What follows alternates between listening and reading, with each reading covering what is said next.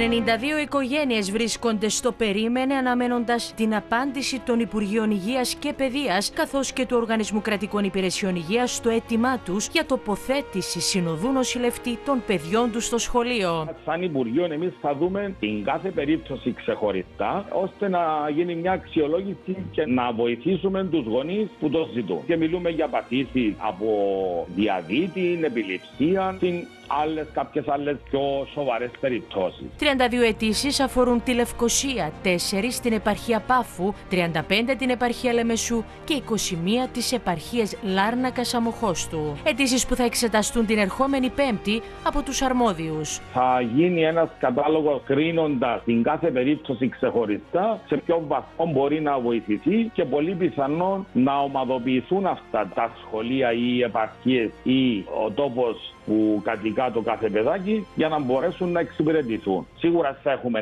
100 νοσηλευτές στα σχολεία άμεσα ως πρώτη απάντηση, αλλά ίσως ένας πολύ μικρότερος αριθμός ανά επαρχία πιθανόν να υλοποιηθεί. Στόχος του Υπουργείου Υγείας είναι στις περιπτώσεις που θα κριθεί απαραίτητη η τοποθέτηση νοσηλευτής συνοδού παιδιού στο σχολείο να προχωρήσουν με πρόσληψη νοσηλευτών ώστε να καλυφθούν οι ανάγκες.